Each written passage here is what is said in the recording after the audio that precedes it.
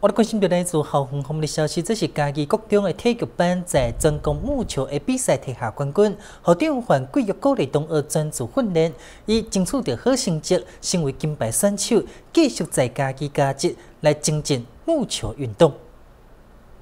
嘉义市嘉义国中体育班中的木球训练，由着国家级专任教练来严格训练。选手也不负众望，开花结果，在全国木球比赛当中勇夺冠军。新进的球员选手拢是爱经过严格的训练，为完全无了解来到成为全点，是爱伫日头当中来吃苦长期训练。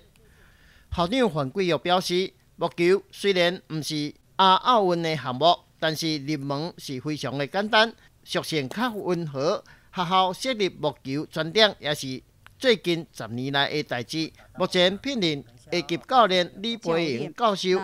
积极训练选手。来我们嘉义国中来上这样一个专业课程呢，让孩子从一张白纸完全不会木球，到训练可以参加世界比赛拿到金牌。呃，这个历程呢，教练说，即使是非常辛苦的，别人在。呃，家里吹冷气、看电视，可是这些孩子假日、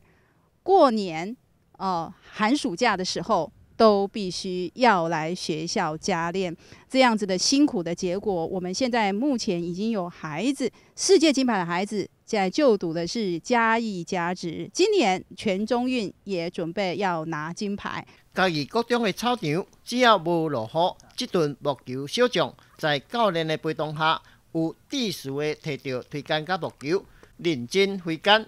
啊，要有耐力，就是准，啊，瞄准一定要很专心的去做。然后虽然是冷门，但是将来也会啊有爆发力，啊，只要肯努力，都会有成功的管道。